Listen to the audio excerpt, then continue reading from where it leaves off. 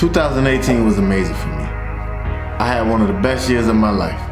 I started the year off celebrating one of my best friends purchasing a new home.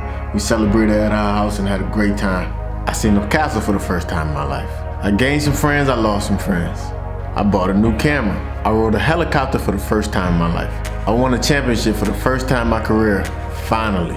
I took my Make and Pick skills camps to another level this year.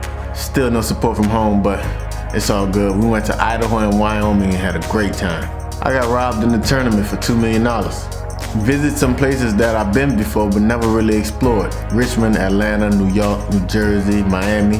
I go to Miami every summer, but I just figured I'd throw it in there.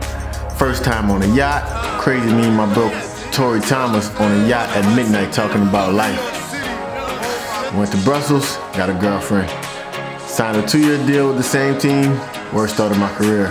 Many think it was the injury, but I think it's an excuse. I'm good, I just have to make some adjustments. Got robbed, lost my book I've been working on for three years. Heap of online training courses and three years of design. All good, still smiling though. Got the woman of my dreams, job of my dreams, my family is healthy.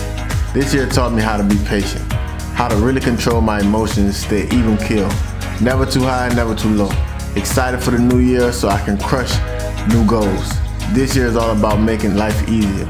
All the grinding I did over the last 10 years should make this year easy breezy. I still gotta make them pay, and I still gotta live a truth life.